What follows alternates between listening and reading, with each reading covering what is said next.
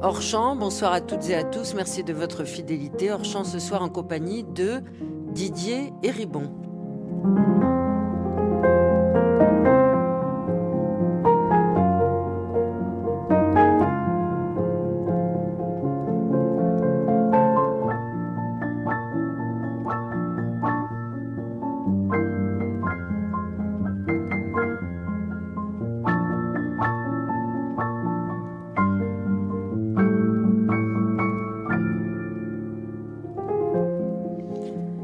Je l'appelais le 31 décembre de cette année-là, peu après minuit pour lui souhaiter une bonne année, ma mère me dit La clinique vient de me téléphoner, ton père est mort il y a une heure.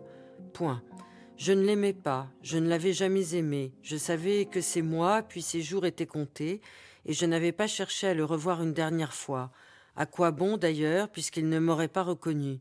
Mais cela faisait une éternité déjà que nous nous reconnaissions plus. Le fossé qui s'était creusé entre nous quand j'étais encore adolescent s'était élargi au fil des années et nous étions devenus des étrangers l'un pour l'autre. Et pourtant, et pourtant, Didier Ribon, dans Retour à Reims, vous avez décidé de revenir dans votre terre d'enfance, qui a été aussi votre terre d'adolescence, qui a été aussi votre terre d'apprentissage de votre vie intellectuelle, de votre vie amoureuse, de votre éveil au monde, et avec votre mère, il s'est passé quelque chose de très troublant, comme si elle vous attendait depuis longtemps. Elle m'attendait, oui. Euh, elle espérait qu'un jour je, reviendrais. Et en effet, la raison, le déclencheur de ce retour a été la mort de mon père. Sa disparition a éveillé en moi, je dirais pas de la tristesse, parce que de fait je ne l'aimais pas, mais euh, une sorte de, désarroi, de volonté de comprendre pourquoi je m'étais à, ce point éloigné de mes parents, de ma famille. Et donc j'ai essayé de, faire cette, une sorte d'introspection sociologique, même si les deux termes semblent euh, contradictoires, euh, de, ne pas penser en termes de psychologie, mais essayer de penser en termes de, des raisons sociales ou presque politiques qui m'avaient éloigné d'eux.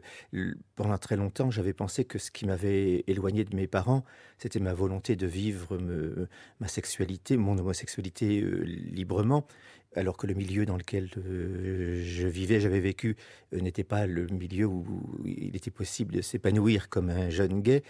Mais à la mort de mon père, je me suis posé la question est-ce que, en fait, euh, tout ça, tout ça restant vrai, est-ce qu'une autre motivation de cette rupture n'avait pas été ma volonté de, fuir un milieu ouvrier et, au fond, euh, j'avais détesté mon père parce qu'il était ouvrier et la, comment dire l'ascension sociale euh, par le moyen de l'ascension scolaire avait été le, vecteur, le, facteur de différenciation d'avec ma famille et de rupture d'avec ma famille. Et donc, le, au fond, tout ce que je reprochais à mon père, c'était d'être ce qu'il était euh, socialement, c'est-à-dire euh, le et dont au fond il n'était évidemment pas responsable, c'est-à-dire ce qui, avait déterminé ce qu'il était, c'était disons le, point d'intersection du lieu euh, et, de l'époque où il était né, c'est-à-dire la classe ouvrière la plus pauvre du nord-est de la France au début des années 30. Et donc j'ai voulu explorer mon passé familial, notamment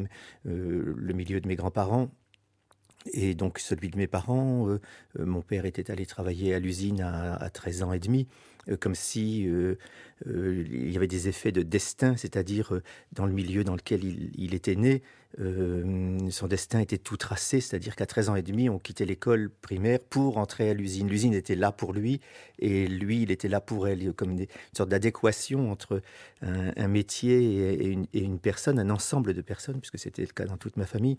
Et donc j'ai voulu comprendre ça et, essayer de redonner une visibilité dans l'espace public euh, par un livre à des réalités euh, euh, que euh, on ignore beaucoup, qui sont la vie des classes populaires, la vie de, la classe ouvrière et la violence que ça peut représenter pour les parents et pour les enfants, parce que je devais admettre en écrivant ce livre que ça avait été une grande violence pour moi, en moi, quand les, trajectoires divergent, et notamment divergent vers le, vers le haut. Dans ce livre magnifique, Retour à Reims, Didier Ribon, vous employez même le mot de honte vous concernant. C'est-à-dire que le, thème de la honte est, un, thème qui a euh, été au, centre de mon travail, euh, de, mes travaux précédents, euh, de mon livre qui s'appelle Réflexion sur la question gay, que j'ai publié en 1999, puis du livre suivant, Une morale du minoritaire, qui, ce, dernier livre, Une morale du, minoritaire, donc de 2001, s'appuie sur des, des euh, qu'on trouve dans l'œuvre de Jean Genet notamment, mais aussi chez Jouandeau, chez Proust, chez quelques autres auteurs, qui proposent une, analyse de, la honte en tant qu'elle est incorporée, comme euh, ça fait partie de la définition d'un individu, mais c'est principalement autour de la honte sexuelle. Qu'est-ce que c'est que euh, pour un gay, pour une lesbienne, le fait d'être insulté, être quelqu'un qui sait qu'il est ou qu'elle est euh, insultable, euh, insulté, mais, mais, mais, potentiellement insultable en permanence à chaque détour de, de, à chaque coin de rue, dans chaque situation, dans chaque image, chaque, euh, chaque représentation qu'on peut, qu'on peut voir du monde social contient une insulte contre ce que l'on est. Et donc, on est voué à une sorte de honte de soi-même, et il est très très difficile de la dépasser, comme Genet le montre très très bien, et on ne peut construire sa personnalité qu'en travaillant sur ce sentiment euh, de la honte, en se l'appropriant et en essayant de l'utiliser comme une sorte d'énergie euh, créatrice de soi-même, transformatrice de soi-même. Et au moment où, où, mon père est mort, où j'ai pensé écrire Retour à Reims, je me suis aperçu que j'avais parlé de la honte mais j'avais oublié de parler d'une honte tout à fait fondamentale que j'avais aussi éprouvée, qui était la honte sociale. C'est-à-dire, il m'avait été plus facile, dans le contexte politique et culturel des années 90, d'écrire sur la honte sexuelle euh, que d'écrire sur la honte sociale. C'est-à-dire, j'avais eu honte d'être fils d'un ouvrier et d'une femme de ménage, et je n'en parlais jamais. Et je me suis dit, il faut avoir tous les courages si on veut écrire et si on veut apporter quelque chose de nouveau à la réflexion. Il, ne faut pas faire les choses qui sont aujourd'hui euh, plus faciles à faire, comme écrire sur l'homosexualité. Euh, il faut aussi écrire sur qu'est-ce que c'est qu'avoir eu honte de sa famille et de ses parents. Mais par définition, la honte, c'est ce dont on ne parle pas. Et donc j'ai voulu parler de ces choses dont on ne parlait pas. Pourquoi j'avais eu honte de mon, de mon milieu social? Après tout, j'aurais très bien pu dire partout où j'allais, oui, quand on me posait la question, oui, mon père était ouvrier, euh, ma mère était femme de ménage. Aujourd'hui, je, ne comprends même pas pourquoi j'ai pu avoir honte de ça. Mais qu'est-ce que c'est que le fonctionnement du monde social où euh, euh, on se sent mal à l'aise quand on n'est pas issu des mêmes classes que ceux qu'on se met à fréquenter au terme d'une ascension scolaire et ascension sociale, même si elle n'appartient pas à la très grande bourgeoisie économique. Mais disons, pourquoi même le milieu, le milieu intellectuel, le milieu culturel de gauche est un milieu où euh, les origines de classe euh, et de classe populaire euh, doivent à, ce point être censurées ou alors deviennent une curiosité. Et donc j'ai voulu explorer tout ça. j'ai voulu retravailler sur le thème de la honte et ajouter une, dimension nouvelle à cette réflexion sur la honte. Mais je crois que tout votre parcours intellectuel, Didier Ribon, s'éclaire par ce livre. Et finalement, vous, restituer dans, dans cet ouvrage une archéologie familiale, vous faites œuvre de sociologue, œuvre d'historien, vous allez chercher justement dans la parole de votre mère et dans les archives euh, euh, ce qui a fondé euh, cette famille, aussi bien du côté paternel et du côté maternel, et, vous, et du côté aussi des grands-parents et notamment de la figure centrale de cette grand-mère qui était assez subversive et, insoumise. Et finalement, euh, eh bien, vous effacez la honte que vous avez subie vous-même ou dont vous avez été porteur vis-à-vis de vos amis intellectuels quand vous êtes devenu un jeune homme et que vous êtes, avec les guillemets, monté à Paris, en redonnant dignité à votre père qui a été si courageux, à votre mère, à votre grand-mère. oui.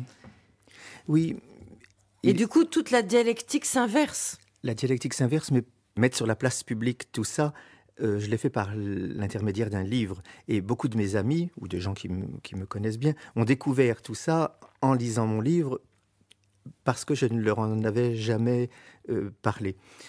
Et sauf des vraiment c'est un peu comme le coming out euh, sexuel quelques amis très proches savaient tout ça la plupart des gens ne savaient pas et je, travaillais à le, à, le cacher. Mais de fait, j'ai voulu rendre en effet une dignité aux gens dont je parle dans ce livre, c'est-à-dire euh, mes parents, euh, mes grands-parents, mes frères, euh, et rendre une dignité. Le gros problème, c'est que si on veut écrire sur les classes populaires, comme sur toutes les classes d'ailleurs, mais en l'occurrence les classes populaires, si on ne veut pas tomber dans une sorte de mythologie ouvriériste, la grande classe ouvrière, la belle classe ouvrière, avec ses belles valeurs, ses beaux combats, etc., on est obligé de dire des choses qui ne sont pas toujours euh, euh, très glorieuses. Et le fait que aussi tous ces gens-là sont effacés de la scène publique par le discours politique, notamment le discours euh, politique de la gauche, mais aussi dire des choses sur euh, l'analyse des affects de la classe ouvrière, des pulsions politiques de la classe ouvrière,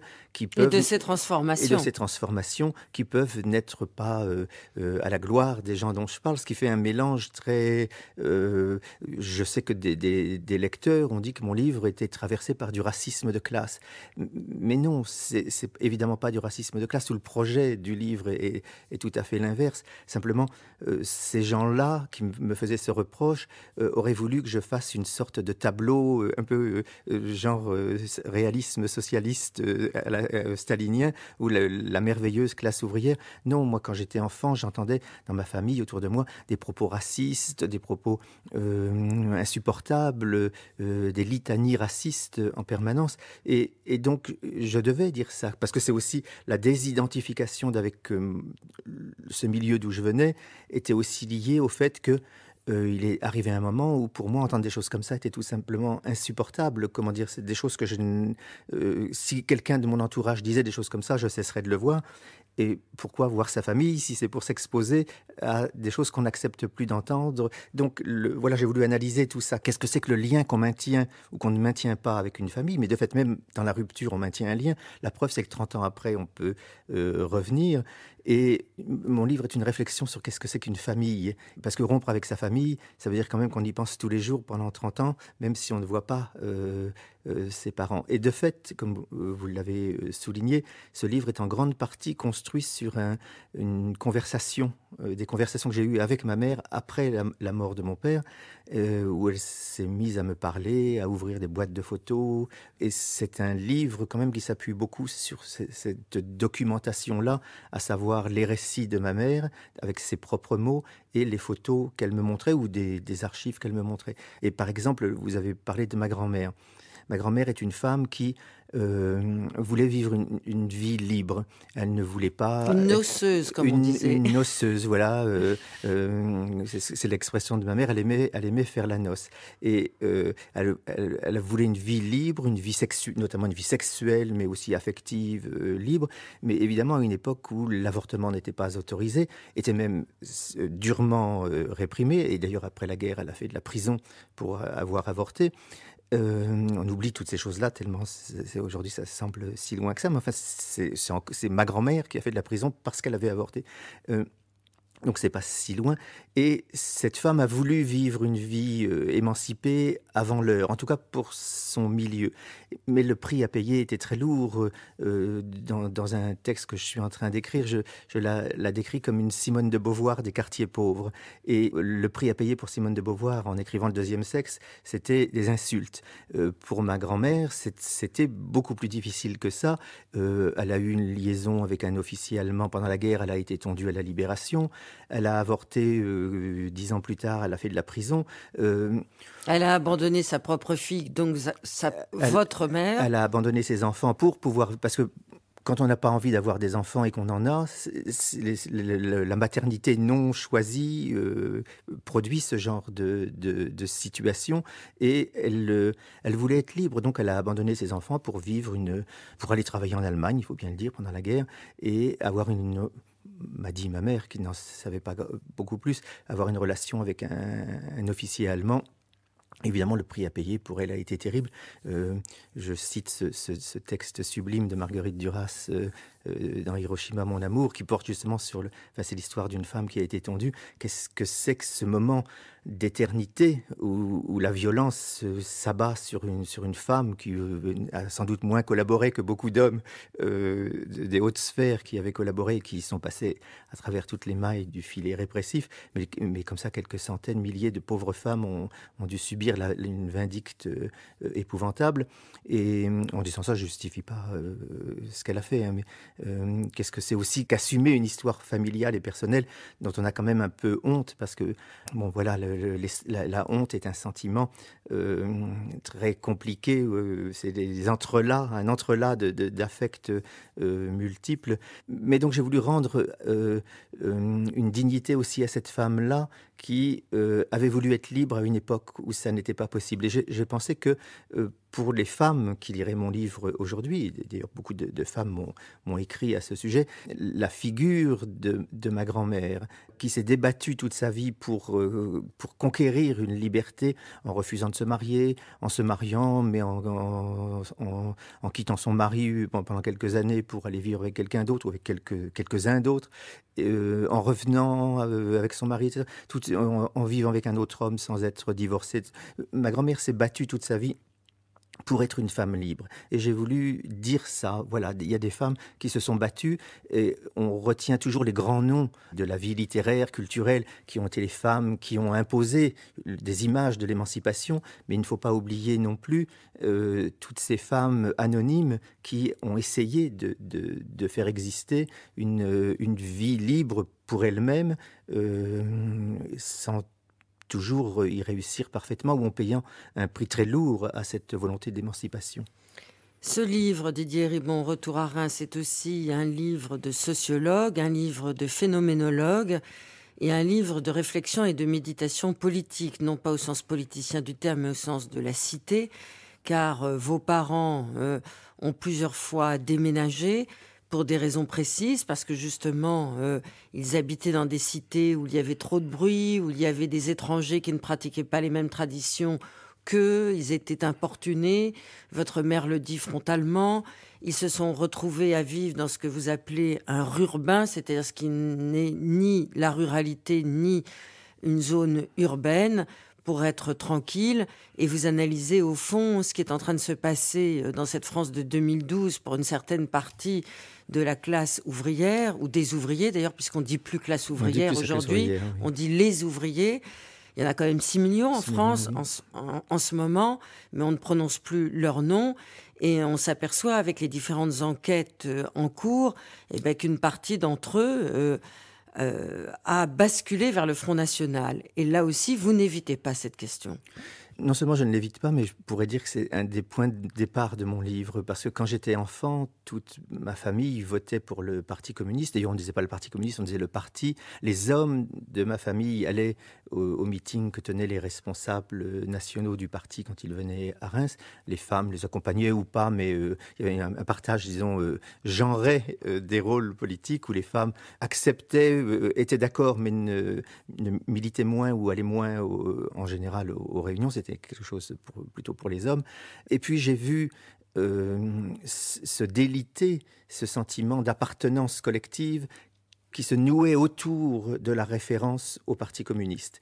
Euh, alors il y, a, de multiples raisons euh, historiques, mais je pense qu'une des, raisons principales, c'est que la gauche s'est désintéressée des classes populaires, et notamment en n'envisageant plus qu'il y avait là un collectif. Il y a eu tout un discours de ce que j'appelle une gauche néoconservatrice qui a voulu défaire les classes en tant que groupe pour, les, pour remplacer par la notion d'individu, d'autonomie individuelle, ce qui veut dire responsabilité individuelle. Et ce groupe, la classe ouvrière qui votait, pour qui le vote pour le Parti communiste était une manière de s'exprimer en tant que groupe et de peser dans l'espace politique sur la politique en tant que groupe, ce groupe ayant été défait comme groupe, en tant que groupe, par le discours de la gauche officielle, euh, qui a essayé de produire une individualisation, une atomisation de ce groupe constitué ou toujours potentiellement constituable à travers le vote pour un même parti, ce groupe s'est reconstitué par l'intermédiaire du vote pour un autre parti qui malheureusement est le Front National. Je disais tout à l'heure que dans ma famille, quand j'étais enfant, j'entendais des propos racistes de manière obsessionnelle. Mais ça n'empêchait pas toute ma famille de voter à gauche, c'est-à-dire presque contre, contre leur pulsion. Comment se fait-il que cette pulsion soit devenue la pulsion centrale, déterminante du, choix politique et du vote. C'est-à-dire qu'aujourd'hui, c'est plus les classes sociales qui sont le, point d'appui de pour qui on vote et contre qui on vote, c'est euh, la question de l'immigration. Donc on ne dit plus je suis ouvrier, je vote pour le Parti communiste contre les bourgeois, les patrons, etc. On dit je suis français, je suis chez moi et euh, les immigrés viennent occuper nos, euh, nos espaces, nous envahir, etc. Et donc je vote pour le Front National. Dans les milieux populaire que je connais, parce que c'est ma famille, on pense toujours en termes de nous et eux, mais le nous et le contenu du nous et du eux, c'est totalement transformé. C'est plus nous les ouvriers, eux les, patrons, les bourgeois. Aujourd'hui, c'est nous les Français et eux, c'est les immigrés. Et qu'est-ce qui s'est passé pour qu'une telle transformation euh, puisse s'opérer au point que dans ma famille, il était évident qu'on votait pour le Parti communiste, on ne, se posait même pas la question. Et aujourd'hui, c'est plus difficile pour, la génération de mes, parents, mais pour la génération de mes frères, qui a commencé à voter au début des années 80, voter pour le Front National est presque aussi évident que pour mes parents, voter pour le Parti communiste. Et pour, pour moi, évidemment, c'est un grand traumatisme, mais il suffit pas de se donner des, comme ça des, une bonne euh, conscience morale en disant quelle horreur. Euh, j'ai voulu comprendre ça. Et, et quand on se pose la question pourquoi les classes populaires votent-elles à droite, on présuppose qu'elles devraient voter à gauche tout naturellement. Or, il est évident que dans l'histoire, ça n'est pas le cas. Euh, et même quand le Parti communiste se présentait comme le parti de la classe ouvrière, il y avait seulement 30% des ouvriers qui votaient pour lui, mais il y avait cette, euh, représentation-là. Qu'est-ce qui s'est défait dans le discours de la gauche pour que tout ça ait disparu? Et donc, question, mais la réponse, je ne peux pas la donner seule. Ça serait, euh, comment on peut faire pour que, euh, puisque si on admet qu'il ne va pas de soi que les ouvriers ou les classes populaires votent à gauche, qu'est-ce qu'on peut faire pour que, de nouveau, une bonne partie des gens qui appartiennent à ces classes-là puissent euh, de nouveau voter à gauche, ce qui, je crois, serait euh, dans leur intérêt. Et euh, comment peut-on penser que des gens vont voter contre leur intérêt? Dans le livre, je donne un exemple. Je, dis à ma mère, tu, as voté pour le Front National, mais le Front National est pour l'interdiction de l'avortement.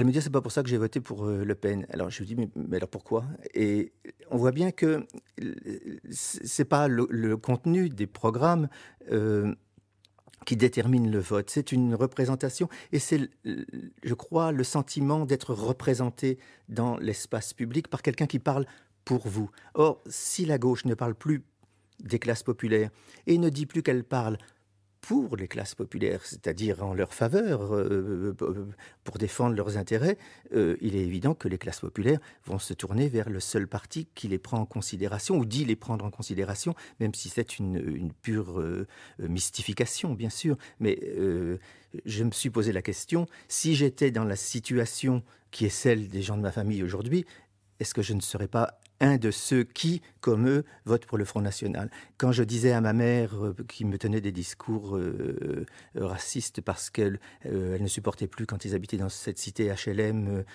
qu'ils ont quitté pour aller habiter un petit village, quand je lui disais, mais ne me dis pas des choses comme ça parce que je ne supportais pas son discours au téléphone. Elle me disait, on voit bien que c'est pas toi qui habites ici. Là où tu habites, tu n'as pas ces problèmes-là. Et évidemment, je ne pouvais que me taire parce que euh, c'est elles, c'est eux qui faisaient l'expérience d'une dégradation de leurs euh, conditions de vie due au fait que les cités HLM étaient devenues des sortes de ghettos séparés de la ville dont plus personne ne s'occupait et euh, au lieu de repenser l'habitat, au lieu d'essayer d'installer les familles immigrées qui arrivaient dans tous les quartiers, on les parquet dans des, ghettos urbains, et après, il ne faut pas s'étonner, puisque la politique de la ville était celle-ci, il ne faut pas s'étonner que les retombées soient aussi ce qu'elles ont été, c'est-à-dire que ceux qui se considéraient comme français de souche et occupants légitimes de ces espaces les quittent pour les abandonner à ceux dont ils considéraient qu'ils étaient les, occupants illégitimes, pour aller créer des petits, euh, aller vivre dans des zones de urbanisation, en effet, et voter euh, pour des partis qui viennent s'appuyer sur ces plus laides des pulsions au lieu d'essayer de les contrecarrer. Nous allons écouter Françoise Hardy, une chanson que nous connaissons par cœur.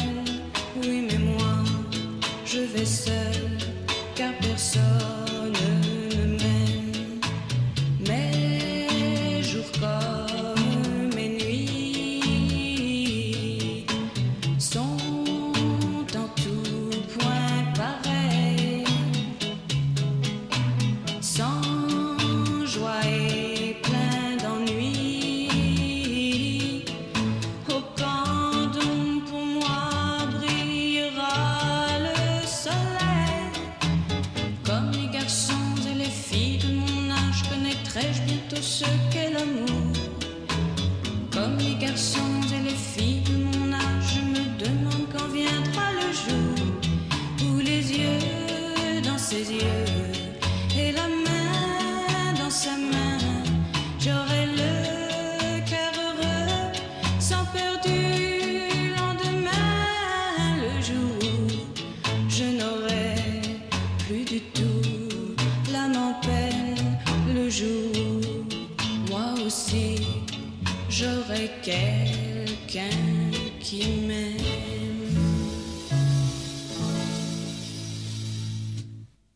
Comme une jeune fille niaise, je pensais que cette chanson, c'était pour les filles. Et que, bah, comme toutes les jeunes filles, je pensais que jamais j'aurais un amoureux, que je serais vouée à la solitude éternelle. Et puis je me suis aperçue, Didier Ribon, en vous lisant que bah, vous aussi, vous avez ressenti les mêmes choses. Mais en fait, c'est une chanson enfin, que j'adorais quand j'étais euh, adolescent, enfin jeune adolescent, parce qu'elle exprimait quelque chose. De, quand on est un, un- un jeune gay, ou j'imagine une, une jeune lesbienne, il est plus Et facile. même une jeune fille Mais- hétéro. Même hein. une jeune fille hétéro. Oui, mais, mais une jeune fille hétéro peut rencontrer quelqu'un et lui donner la main dans la rue. Or, à l'époque en question, je pouvais éventuellement rencontrer quelqu'un, euh, avoir un- une sexualité avec euh, lui, mais je ne pouvais pas marcher dans la rue avec lui en lui donnant la main, ou si on, nous l'avions fait, euh, d'ailleurs nous ne l'aurions pas fait parce que ça c'était quasiment euh, interdit, de, facto interdit, et si nous avions transgressé cet in- interdit, nous aurions été non seulement euh, probablement insultés, mais aussi très vraisemblablement agressés physiquement. Et ce sont des choses qui se produisent encore aujourd'hui partout, euh, en France, en Europe, dans le monde. Euh, donc il y avait comme une sorte de... euh, évidemment, l'homosexualité en France ce n'était pas interdite, mais la montrait, ou montrait un rapport euh, euh, d'affectivité, d'amour dans la rue, dans l'espace public. euh, ça n'était pas possible. Même avec mon compagnon aujourd'hui, je ne lui donnerai pas la main dans le métro, je ne lui donnerai pas la main le soir en rentrant chez moi, etc. Parce que il y a cette menace qui plane toujours au-dessus de nos têtes, qui est la potentialité de l'agression. Mon livre euh, Réflexion sur la question gay part de cette question. Qu'est-ce que ça produit sur la subjectivité d'une catégorie entière de la population de savoir qu'on est euh, insultable, injuriable euh, en permanence, mais aussi attaquable, si je, si j'ose dire, agressable. On peut être agressé dans la rue physiquement, violemment, ce qui m'est déjà arrivé, ce qui est arrivé à un nombre euh, considérable de mes amis. Alors une chanson comme celle-ci désigne quelque chose de très fort, euh, tous les garçons et les filles de mon âge, mais moi non, tout simplement parce que même si je rencontre quelqu'un dont je suis amoureux, cette relation amoureuse doit rester secrète, clandestine, euh, surtout pas publique et rester privée. Alors évidemment, ça, les choses ont changé entre le moment où j'avais 15 ans et aujourd'hui. mais c'est pour ça euh, par exemple, que je, je suis un des, des, ardents défenseurs, supporters de l'idée euh, du droit euh, au mariage pour les couples de même sexe. Parce que, non pas que j'aspire à me marier, c'est une autre question. Je me suis battu pour des combats pour lesquels je n'étais pas concerné. Donc quand on me dit, mais tu, tu, es pour le mariage homosexuel, mais tu ne veux pas te marier, oui, ben, je suis pour le droit à l'avortement et je, ne vais pas avorter, c'est évident. Donc, je suis euh, pour le droit, et non seulement pour, mais je suis un, comment dire, quelqu'un qui milite pour ce droit, parce que je crois qu'il ça changerait quelque chose de très très très profond dans les représentations. Et quand on dit c'est renoncer, les homosexuels renoncent à la subversion euh, en demandant ça, je trouve que c'est tout à fait le contraire. La subversion aujourd'hui, euh, c'est ce qui leur est accordé, presque assigné, le rôle subversif qu'on leur reconnaît. Et si on leur reconnaît, c'est qu'il n'est plus subversif. Tandis que la, la, revendication du mariage se heurte à des, à, à des résistances, mais, mais extravagantes, enfin hystériques, dans, tout, dans tous les pays, et, et notamment en France. Et je me dis que ça changerait beaucoup les représentations, la possibilité de euh, d'exprimer de l'affection en public. Euh, le, donc, le, je crois que dans ces revendications-là, ce qui dans l'histoire des mentalités, dans, dans la reconnaissance, dans, dans la reconnaissance, dans ce qui se joue là, c'est la possibilité pour des jeunes gays et des jeunes, lesbiennes, de savoir qu'on peut se donner la main dans la rue, qu'on peut s'aimer, qu'on peut avoir des relations euh, non seulement sexuelles, mais aussi affectives, sentimentales, amoureuses, etc., que ça c'est possible. Et je pense que le, droit au mariage pour les couples de même sexe romprait totalement avec un des impensés les, les plus, euh, qui structure le plus euh, l'inconscient social, euh, qui est que le couple c'est forcément un couple qui est un homme et une femme, et une famille c'est forcément un homme et une femme avec des enfants. Or, nous savons que tout ça, ça n'est pas vrai mais qu'il y a toute une partie euh, des couples, des familles, etc., qui sont voués non plus à l'invisibilité aujourd'hui, mais en tout cas à l'illégitimité. Et je trouve qu'une des, tâches des intellectuels euh, qui s'engagent pour la démocratie, pour l'élargissement de l'espace démocratique, c'est de travailler à rendre l'espace public, la vie euh, la plus vivable possible pour le plus grand nombre possible de gens. Donc se battre pour le plus grand nombre de droits possible pour le plus grand nombre possible de gens. Et ça, ça fait partie de ces droits, puisqu'il y a des gens qui y aspirent. Je ne, je ne vois pas en quoi il serait possible de s'y opposer, de le leur refuser, d'autant que euh, ce qu'on leur oppose, ce sont des normes tout à fait obsolètes de la psychanalyse, pour qui un enfant doit avoir un père et une mère, ce qui n'a strictement aucun sens aujourd'hui, où tant d'enfants sont élevés par une mère seule, moins fréquemment par un père seul, mais aussi par deux hommes ou deux femmes, ou parfois par deux hommes et deux femmes dans des arrangements familiaux plus complexes.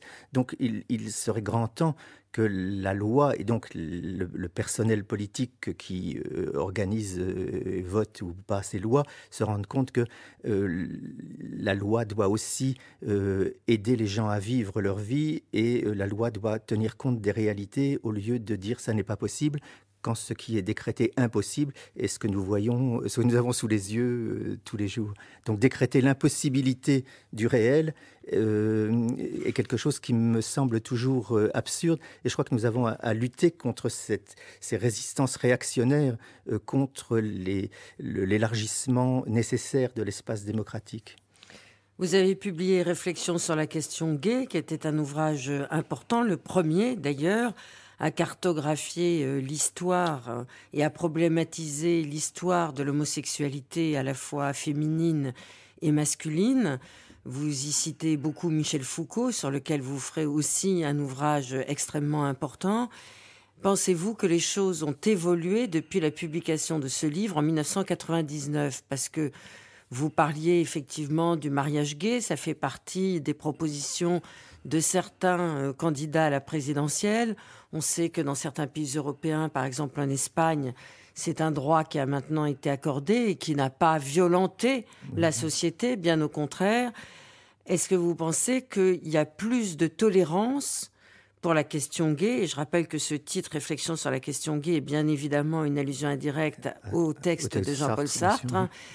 Est-ce que vous avez l'impression que l'histoire des mentalités qui travaillent chacun d'entre nous, quelle que soit euh, son identité sociale, euh, sa génération, euh, son origine personnelle, vous pensez que cette histoire de l'homosexualité est devenue quelque chose d'acceptable et non plus seulement de tolérable?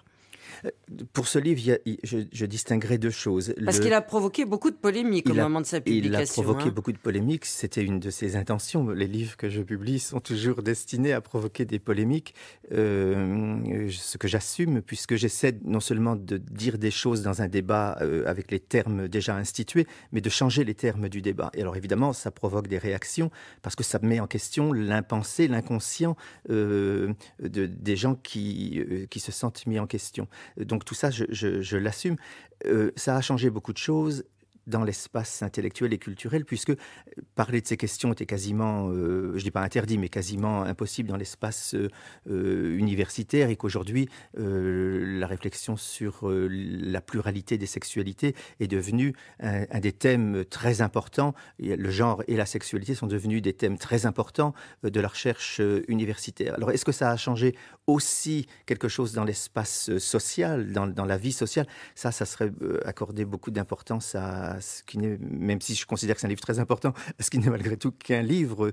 euh, mais je dois dire que et ce livre-là, Réflexion sur la question gay, et le, dernier euh, Retour à Reims, sont des livres qui ont provoqué euh, comment dire, un- une avalanche épistolaire. J'ai reçu des centaines de lettres pour chacun de ces livres. Et ça veut dire donc que euh, ce sont des livres qui aident aussi les gens à, se penser eux-mêmes et à vivre euh, mieux ce qu'ils voudraient vivre et qu'ils avaient du mal à, vivre parce qu'ils ne se formulaient pas à eux-mêmes les problèmes ou les barrières et les censures qui les empêchaient de vivre comme ils avaient envie euh, de vivre. Alors, vous, vous parliez de mon livre sur Foucault, ma biographie de Foucault.